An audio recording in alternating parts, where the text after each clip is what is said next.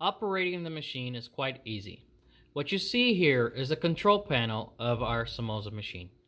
You have individual control of all parts of the machine.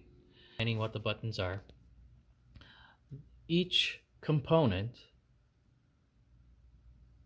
will start when you press on or off of the green button. This is your main on button. So when it's pressed uh, in and you press this one on, that the mold speed will start. If you press the filling speed, which is your hopper speed, if you press that on, it'll start. If you want it to stop, you stop. When you receive your machine, do not touch any of these uh, switches or programs here. This is pre-programmed from the manufacturer, so no need to do any setting over here. What th these numbers mean, it's the speed of your dial. So if you want fast, uh, um, the mold speed to be at 42, it'll be at 42. If you want filling speed at 60, you can. You can also reduce it to, to 49. Once you find your formula of whatever product you are doing, if you want to decrease or increase the speed, everything is controlled independently. If you want to reduce it or speed it up. So how do you start the machine for the very first time? Well, our recommendation is as follows. You're first going to put your uh, filling uh, in the hopper. Do not start at that point. Then you're gonna uh, start your dough. Get your dough out first. Once your dough reaches the that point there, once it reaches that point, then you know that your dough is ready. You can stop it. Then you want to start your filling number one, get it that to go through, and then your filling number two, which is uh, once you start seeing come out of the dough, that's when you stop it.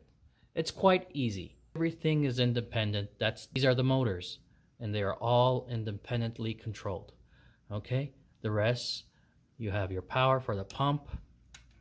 And now I'm going to tell you what is really special about this machine and why everything works so well. As you can see, there are four motors. They're all heavy duty and they um, have heavy duty chains when using this machine, it's important to have the, the machines, your maintenance guy come in and uh, lightly grease the, the chains. Other than that, everything functions very well and they are heavy duty. You have one motor here that operates and controls the second filling device up here. And you will have the secondary motor on the back end that also operates and controls the first filling device over here. The main motor will uh, control and individually operate the midsection of the dough filling head. And this motor on the back controls the uh, mold, head, and flower. So what is great about our uh, machine is that it comes with its own cooling refrigeration system. It has the capability of cooling off your water and you can set the temperature of the water. It could be ice cold and it has its own refrigeration. Over here is where the water comes in. The user will take a um, water and fill it manually with either a cup, a glass, and you're going to fill it until you see uh, the water show here at the very top. You're going to fill the drum and it's going to circulate that water through the pump and it's going to take it to the machine. So you will have the water circulating ice water through the head continuously and monitored. It is a machine for high production, heavy duty production. Now I'm going to show you how to remove the mold from the machine in case you need to replace with another type mold.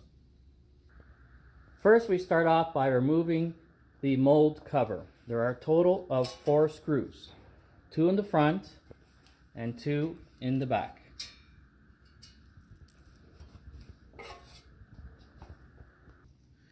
When lifting and removing the mold,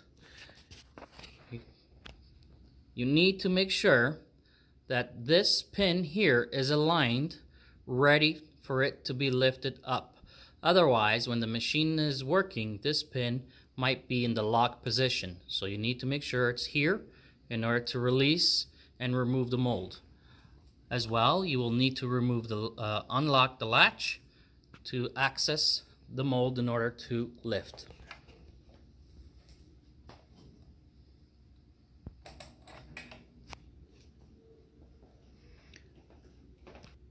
When the machine has been in operation and it's still remaining at the end of the shift with dough, you need to start off by removing the rings. The first ring, normally you can remove with your hand. Although, because of the pressure, you might need to use the following tool to release the ring, such as so, and then finish unscrewing the inner center ring. Once you removed all the rings, what we are showing you is how to remove the rings for the end of the day for cleaning. So you, you want to remove the rings. And this is the tool that comes with the machine.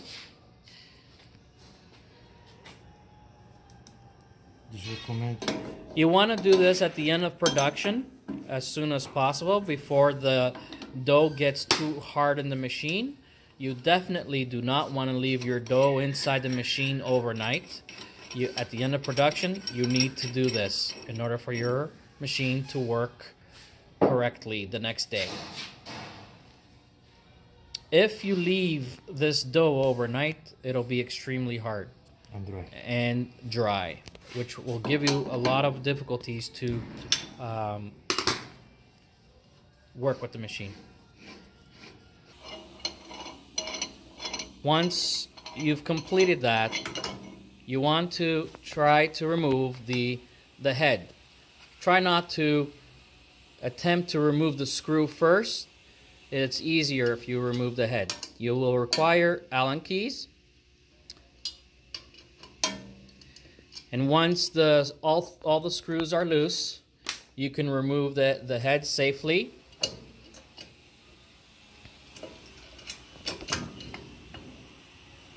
At this time, it'll be easier for you to remove the dough from the, the screw here on this part. And at this time, uh, you don't want to try to remove the pipe. You would need to remove the screw first.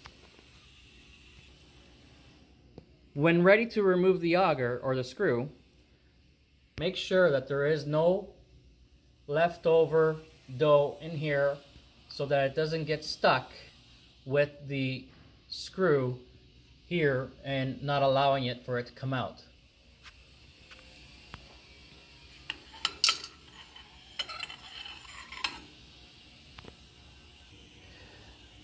Now you're ready to release and remove the pipe. In order to do so, make sure it's clean uh, from any uh, product that's left over. And in order to release the pipe, you got to turn it clockwise, which is that way. And to lock the pipe when putting it back in, it's left. And you know that by if, uh, if you try to pull it, it won't come out. So in order to release it, right and remove the pipe. Now you can clean the rest of the dough chamber. You notice there's a keyway that came out from there. You see, this is one main part here that you need to be careful. This was done on purpose so that you can see that this keyway is easy to lose. And um, you need to be careful about that. Don't lose this keyway when you remove the black screw. This is where the keyway goes on the black screw. At this point here, we're going to show you how to remove the screw. Uh, you're going to take it and twist it so that way it comes out of its keyway and then pull it up. This is the keyway. When removing it, you got to remove it out of this uh, slot here. And as well, when putting it back in, you got to make sure that it falls into this place here in its, its slot keyway. After removing the hopper, you need to remove the inner piece first by starting by removing the pin. Over here in this section, you need a little bit more patience to remove this item. After the hopper is removed, we want to show you for demonstration that when you are inserting the screw of the hopper, that you align with that pin there when you're when you're putting it on. And then you lock it. By locking it and then you try to pull it up, it won't come out. That's how you know that the screw is locked in and how you remove it. In order to remove the hopper, you need to unscrew a total of one, two, three, and four screws. Removing the last screw.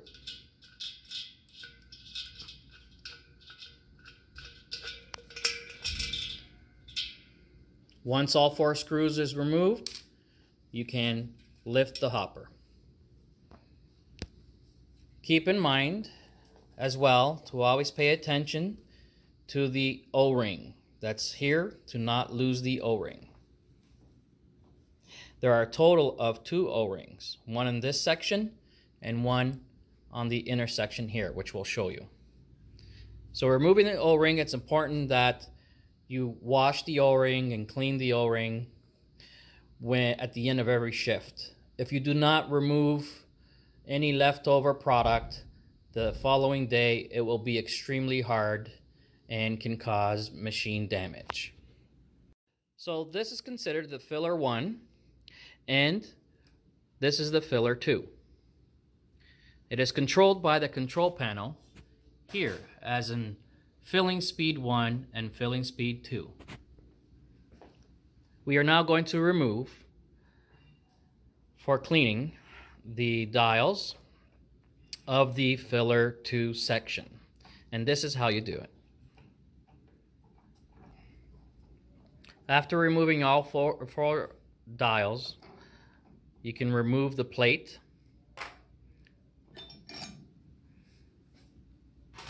And under that plate, there is a plastic cover that's also sealed by the O-ring. Again, please pay attention to the O-ring, not to lose the O-ring. And it's important to wash the O-ring at the end of the shift. At this stage, we're going to show you how to remove the inner filler uh, 2. And normally, at this, uh, you have leftover product still inside the chamber. And what you want to do is use this type of tool to pull up the parts. And once it's pulled out then it's easier to access the other one. And the same thing goes to the other um, part. And then it makes it easy for cleaning at the end of the shift. Once our all parts are removed from the block you can actually remove and release the block like so for cleaning. You can clean the bottom and you can also clean the block. As well, continue to pay attention to your keyway here, not to lose your keyway. Now we're going to show you how to put everything back once every part has been cleaned. Let's start off with the block. You want to try to align it. Putting it in, nice and tight, and it's ready for the O-rings. We can start off by putting the O-rings on. You have one O-ring, and you also have the smaller O-ring. The key to adding the O-rings back on, making sure it's clean and not oily uh, or slippery. If the O-ring goes on here, the key to it is not to twist it or turn it. If you're finding that the O-ring keeps on slipping, it could be because you are spinning or turning the O-ring. Now if you're finding this part here as you're putting it on and this is not staying in its place, just take the O-ring back out, give it a little stretch to loosen it up a bit, and then you put it back on. While it's still stretched, it should be easier for you to put on the O-ring. At this stage, everything is nice, it's in order, and you want to put in the stars back on. The first star Again, aligning with the keyway. You fit that in nicely. There is no particular way to put it on. Now locked in place.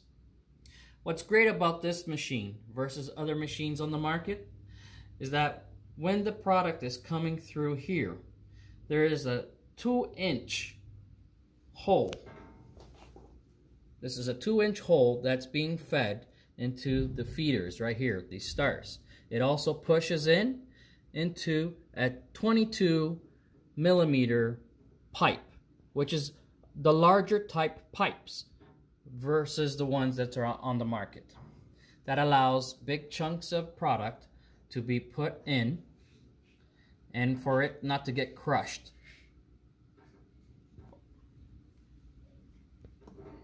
Okay, as you can see, it started to come back. Just give it a good stretch again. And once this is back into its place, we are going to put in the plastic mold plate. It's perfect. We're going to put the steel plate back on. Perfect. We're going to put on the rollers. I'm going to put on the next roller.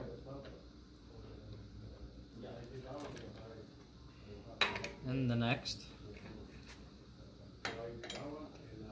And the next.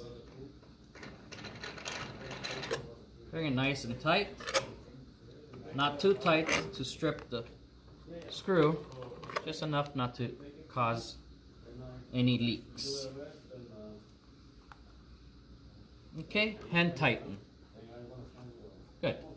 Now what you want to do here is make sure that the pin is in.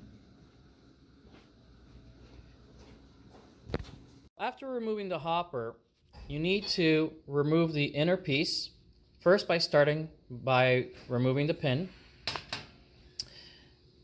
Over here in this section, you need a little bit more patience to remove this item. And the same way you take it out, is the same way you put it in. This is not a perfect circle, so you got to kind of play around with it. And you got to show the, the hole. Um, you got to um, align it with that hole there with that pin right there. And that's how you know you've uh, inserted this part correctly. Once it falls into place, the base will be touching the other part of the stainless steel there. Then you put in the pin.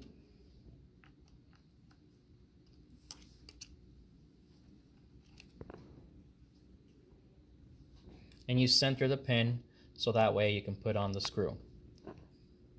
Now we're going to put the hopper back on and show you the proper way of doing it is you want to first try to align the two ends of the bolts first and then connecting the other. Doing it this way will allow you to align it with the holes and for you not to play around with the hopper and shifting it from left to right so that the o-ring gets damaged. Right now it was easily placed and the holes are aligned and the o-ring is not damaged. You want to put the screws back on and all four and tighten it.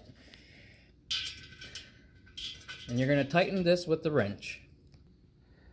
So for the purpose of this video, we have been showing you all the areas to remove the screws and to put it on and to remove it. But the machine does come with the tools that you should be doing this not by hand. Of course, we're doing this uh, for video purposes, but with its own proper tools. So for an example, this one here, the four screws, you want to use your tools and tighten it properly as it should. Now we're going to put the screw, the hopper screw on. As you can see, there's the pin, and we're going to align it with the pin when putting it back, back in. We're gonna find the locking spot. It falls into place, and you know it's in. When you try to pull it out, it won't come out. Now it's locked. Now we're going to insert the pipe. And when inserting the pipe, your goal is to align with that pin right in the center. You see that pin at the very end? That's the locking pin for the pipe. When you insert the pipe, you want to align the pipe in this manner here so that you can get a connection with the pin. This part here, at the very end, the pin will enter into the cavity and then you're going to lock it this way. So now we insert the pipe.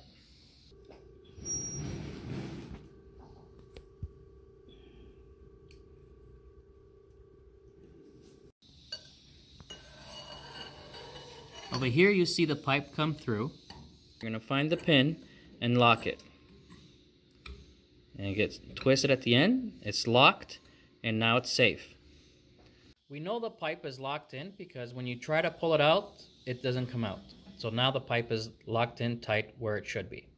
Now we're going to put in the screw and at the same time keep in mind you need to put the keyway back on. It's also a good idea to add some food grease so that the keyway stays on there and it helps when removing and uh, putting it back on and that way it can stay there nice and tight. At the same time, if you find that your keyway is not uh, on there properly, you can give it a tap with a little hammer. And now it's ready to insert into the machine. The hammer does also come with the kit.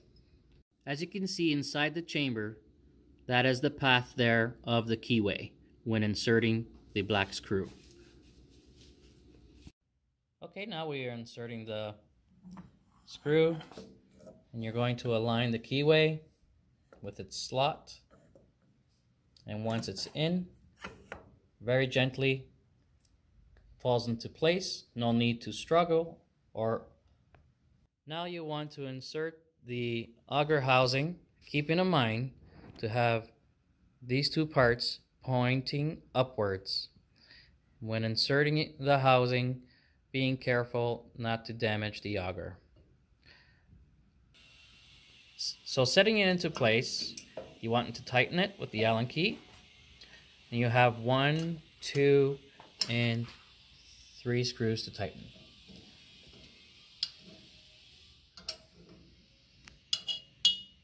Here's a quick note. You can also put the screw housing this direction here. You can put it straight up or sideways when putting it on. Putting it sideways will be better so that way it doesn't bend the hose. That's the recommended way to put. The second part, you want to put the copper end away from the thread. You can hear a little click. It's nice and tight. Copper end goes in first.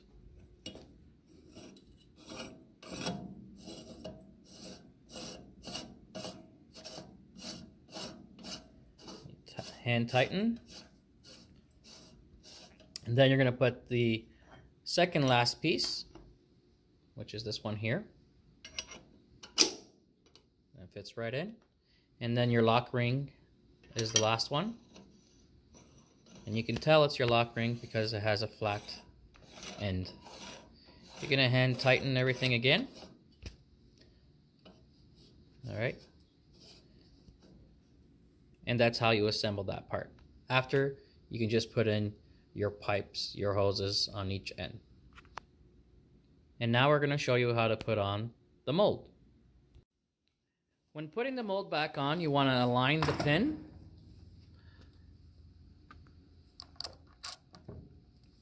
Okay, and you want to put the pin locked in right there.